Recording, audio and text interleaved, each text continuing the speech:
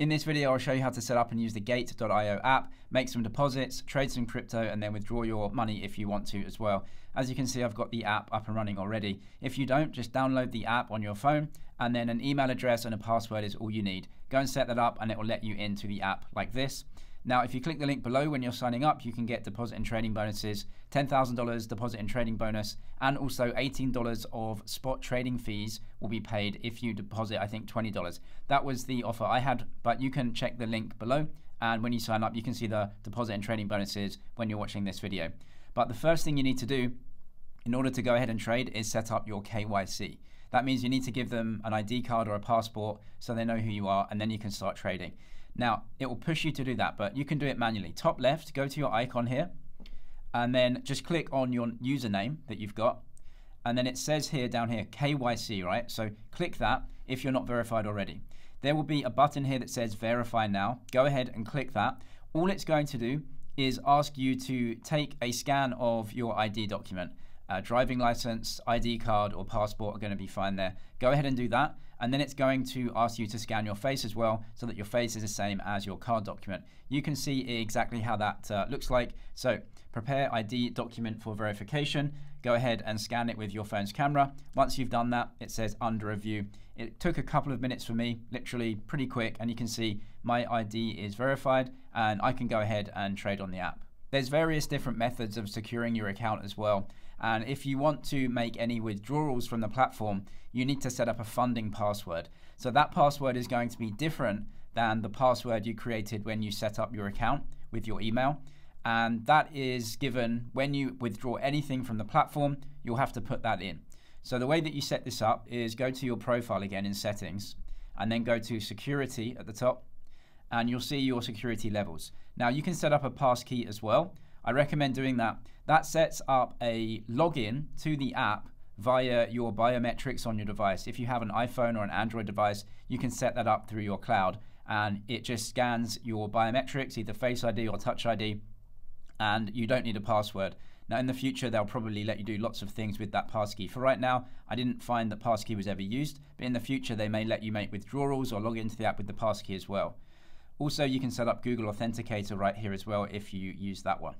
The other thing that you'll need to set up, like I said, is the fund password. So if you scroll down, go to basic security and then fund password, they won't let you withdraw without this enabled.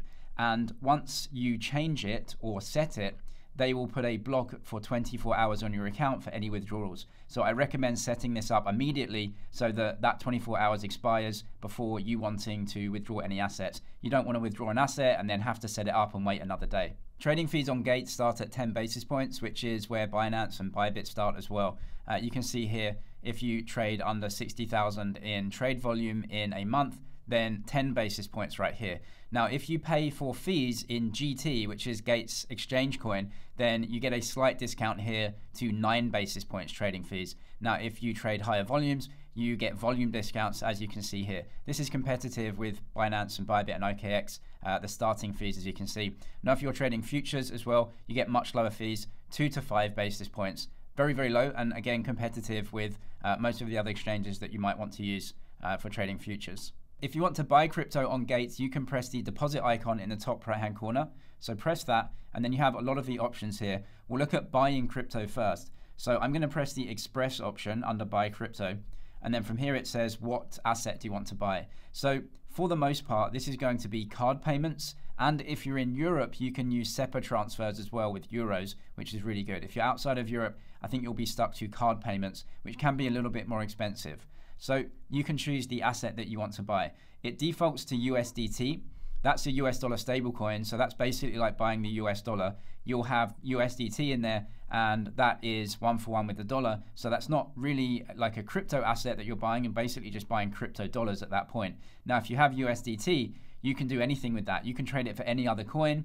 Uh, you can use it in futures very easily, and you can withdraw it from the platform if you want to do that.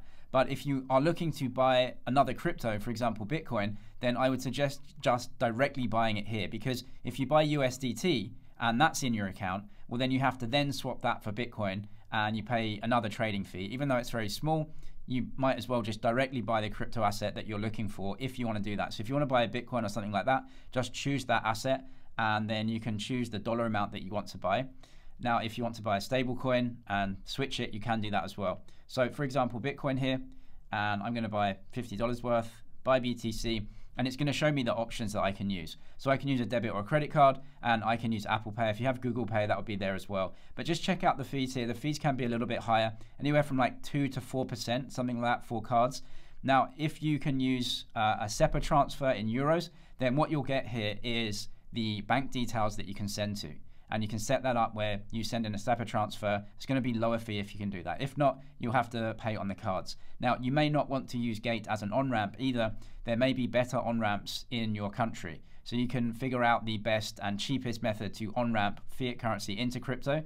And then from there, once you have crypto in a crypto account, you can send those assets right into uh, Gate to trade with because Gate has very low trading fees, especially uh, compared to most on-ramps. I'll show you how to deposit crypto into Gates then. So if you are using another on-ramp and you've on-ramped your cash into crypto, but the trading fees at that on-ramp are very expensive, you can just withdraw it from that exchange and send it to Gate to trade. If you have crypto in your own wallet, you can easily deposit it into Gate as well. It's all the same feature. We want to deposit crypto into the exchange. So press deposit again. Then I want to choose on-chain deposit here. That's if you have crypto assets somewhere else and you can go and withdraw them into Gate. So I've got some USDC on another platform. So I'm going to press USDC here, or you can search for it as well, right? USDC or USDT, whatever you have. If you're wanting to uh, deposit Bitcoin, you can see BTC there. It's going to give you your Bitcoin address. Now I'm going to choose USDC, and you'll see with USDC that there are a lot of different options that I can use to send this in. So USDC is a stablecoin, US dollar stablecoin, exists on many different chains. And so I can choose a chain to deposit it into Gate. Um, and I'm going to choose one chain here. So I'm going to go over to my other exchange. And you can see I've got some USDC. So I'm going to press withdraw on this. And I'm going to send via crypto network. Now, if you're using Coinbase or Binance or anyone else, it doesn't matter. Go to your exchange if you have it there, press withdraw, and then withdraw via crypto network. And then it's going to give you the options. Now, you can see the networks here, and I can choose them. I'm just going to choose the cheapest chain. Now, Binance let me send USDC for free, as you can see here. So I can press that, and then I can go back into Gate. Now, I have to make sure that Gate can accept this asset on the network that I'm using. USDC on BNB chain. And you can see BNB Smart Chain right here is acceptable, and that is the deposit address. So if you're sending crypto into Gate, it has to be the same asset on the same chain. Gate has to accept the asset and the blockchain that you're sending it uh, from. So you just have to choose the same where you're sending it from and gate, same asset, same blockchain. I'm going to copy my address here. Then I'm going to go back into Binance. I'll paste that in like this. That's my address. I can send the max out in order to trade it. So press withdraw in your exchange. That sends it over to Gate. And that will use a blockchain transaction. It's free for me here. You may pay a few cents or something depending on the network that you're using. But that will be sent over to your Gate wallet address. And then you can use it in Gate. Now you can see that crypto has been deposited into my Gate account. I have a balance and we can go ahead and trade that now.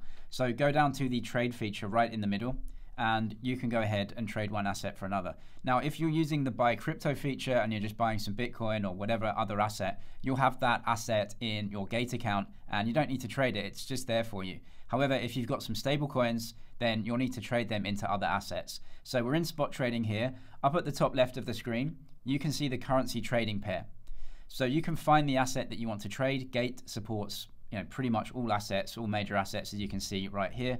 Scrolling down, you can search for them here. So if I choose BTC, you can see there's 37 Bitcoin trading pairs. I've got Bitcoin against USDT and USDC, the two major stablecoins, but you've got a bunch of other assets as well, some futures trading assets and uh, a few other things, right? Now, BTC has a lot of trading pairs as well. You can see a lot of other assets trade against BTC. So if you have some Bitcoin and you want to switch it into another asset, you can do it easily there via that trading pair. So a trading pair is basically one asset that you have and the other other asset that you want. So you sell the asset that you have and the, you buy the asset that you want. For me, I'm just going to trade Bitcoin against USDC because I've got USDC and that means that I can sell the asset that I have and buy the asset that I want. Now from here, we can go ahead and buy or sell, but I'll show you buying first.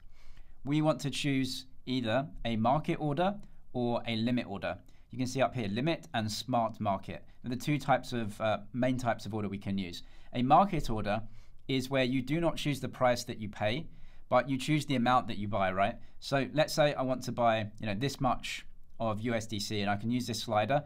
It tells me exactly how much USDC that I have. And I say, well, I want to buy $10 of Bitcoin, right? I don't know the price that I'm going to trade at. If you look to the right hand side, this is the market right here. Down at the bottom, you have buyers in green and you have sellers in red. And you can see the prices here. This white price in the middle is the mid price where buyers and sellers meet and actually trade.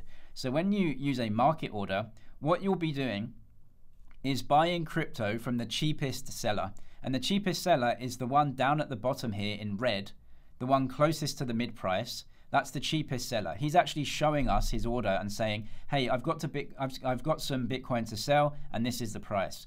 And I can buy with a market order and take their price and exchange my USDC for Bitcoin. So I can go ahead and do that with a market order. Now, a limit order is slightly different. A limit order is when you actually choose the price that you pay. So, for example, I can choose uh, a, a price to pay that is nowhere near the current market price. So, let's say the current market price is around 93,800. Am I willing to pay that or not? Well, no, I'm not. I want a, a cheaper price. So I can choose my price now with a limit order. So I'm going to try and pay 93,500 like this and press done. Now, as you can see, my price now that I'm willing to pay for one unit of Bitcoin is 93,500. And I'm going to buy a fraction of a Bitcoin. I'm going to buy 10 USDC worth. Because the market price is around 93,800, my bid is too low, right? The market price is 93,800. I say that I want to buy at 93,500.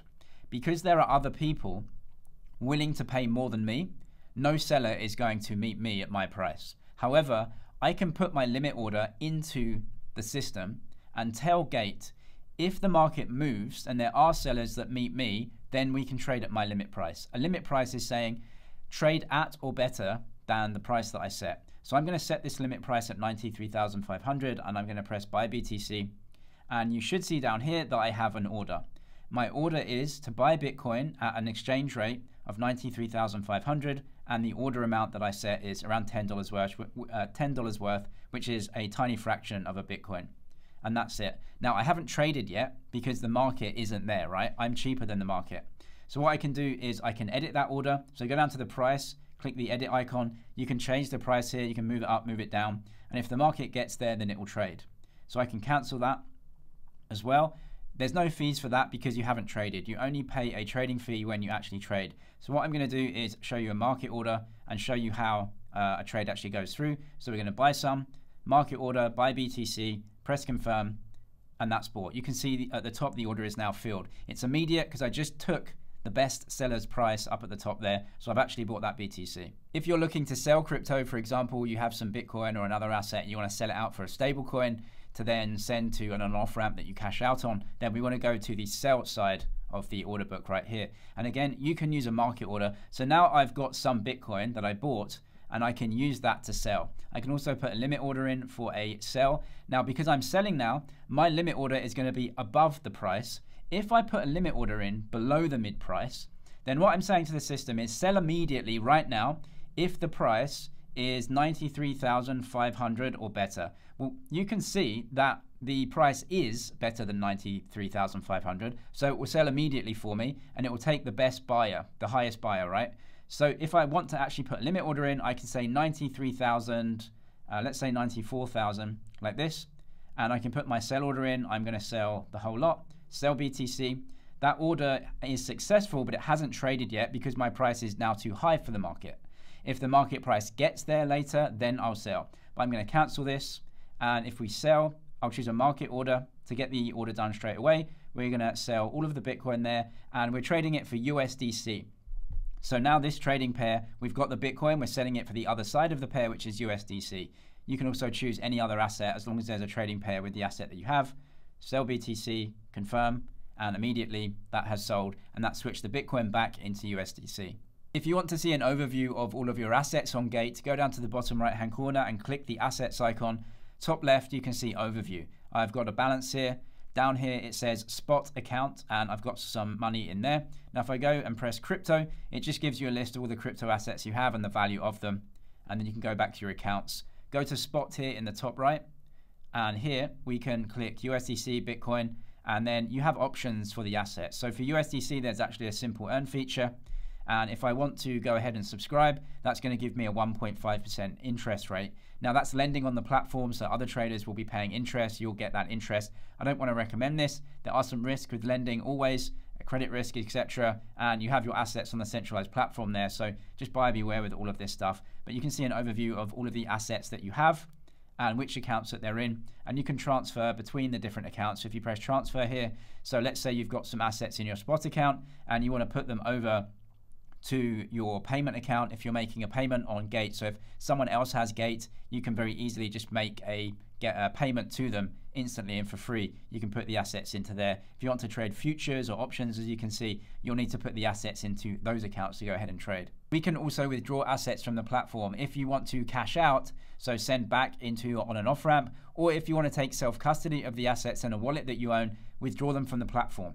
So in your assets screen, just press withdraw and it's going to show you all of the assets that you have. I'm going to press on chain withdrawal and it's going to say, hey, you've got some USDC here. Do you want to send that out or do you want to send the Bitcoin out? So let's send USDC and it says the address is needed. So of course, this is the address of either your exchange or the wallet that you own and press the address where you want to send it. So we're going to go back into the other exchange. I'll find the asset that I want to deposit into the other exchange or the wallet. I'm going to press deposit here and it says where do you want to uh, deposit it from. So I have to choose a network that both Gate and Binance support because otherwise you'll have an issue, right? If you're sending on a network that the other place doesn't support, they won't be able to make that deposit, right? So we're going to go over to Gate again and we're going to see the networks that are supported. And you should see here that BNB Smart Chain and Base and Arbitrum, lots of different uh, networks are supported. So I'll just choose BNB Smart Chain to make it easy. And then we need to go over to the account and we need to choose BNB Smart Chain here. That's my deposit address. So I'm going to copy that, go back into my Gate account. From here, I can paste in the wallet address that I copied from the exchange that I want to send it to. So that's the address and the network is the one that I chose, which is available on Gate and the other place that I'm sending it. Choose the amount that you want to withdraw from Gate, press withdraw. That will send it over the network that you're using and send it into the wallet address that you've pasted in here. Gate also let us set up a Web3 wallet directly in the Exchange app, and this is where we can take self custody of our crypto. Right now, our crypto is in the Gate Exchange wallet, and they have custody of it for us. So if we want to take self custody of it, you may have other wallets that you use, and so you don't need the Web3 wallet. But if you want to make it easy, then you can set up the Web3 wallet right here. So down at the bottom, I'll click Web3 wallet, and you can go and set it up. Now, this sets up a wallet for us, and we have control of the wallet and we have custody of the crypto in here. If you want to send crypto into this wallet, you need to withdraw it from the Gate exchange into this wallet. We own this wallet and not Gate. Now, you have to back up your wallet properly. If you delete the Gate app, you can very easily log back into the Exchange account with your username and password, pretty easy. However, you also need to separately recover the wallet as well, and that has its own backup. You can see you have uh, two options. One is to back it up to your cloud account, and the other is to write the mnemonic down individually yourself. Now, it's a list of 12 to 24 words, and that's the backup for the wallet. So even though you log back into your centralized exchange account, you'll have to also log back in to your wallet using those 12 to 24 words that you write down. Do both of them if you want. Now, the important thing here is that you have this backup somewhere at all times because if you need to back it up, you need that backup. You can't use the Gate Exchange account. If you have it on your cloud, just be sure that you're okay with that. If your cloud gets hacked or something, then that file can be used to actually recover the wallet somewhere else and they can spend the assets out of your account. If you write it down somewhere and someone finds it, they also can reload that wallet and spend all your crypto. So you have to keep this super safe. But this is self custody where we can withdraw crypto out from our exchange account into our own wallet. So to do that, go to withdraw again, go to on chain withdrawal choose the asset that you want to withdraw, and then up at the top, press Web3 Wallet, and then you can just send it out to your wallet. You don't have to worry about any address, that's going to be auto populated. You just have to make sure that when you're sending assets out from your exchange account, that you're using the blockchain that you want to use and you have your asset in there. I've got loads more tutorials on how to use wallets and blockchains, and so I'll leave those in the description. I'll also leave a much more in-depth guide to trading on Gate, both in the spot and futures market in the description if you need that. And the deposit and trading bonus is down there in the description as well. I'm James, this Money ZG. Cheers for watching, and I'll see you in the next one.